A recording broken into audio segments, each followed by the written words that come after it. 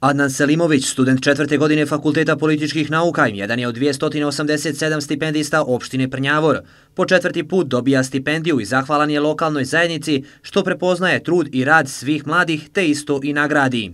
Kada se pogleda u globalu je jedna značajna cifra koja je pomagala nama studentima i meni lično e, na našem putu ovaj, i u svakodnevnim nekim našim studentskim obavezama i potrebama. Pored studenta stipendije su potpisane i sa nadarenim učenicima izuzetno je pohvalno što opština postiče mlade ljude da ostvore što bolje rezultate u svom školovanju.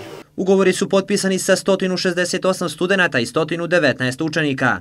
Darko Tomaš, načelnik opštine, istakao je da je broj stipendista ove godine uvećan za 49.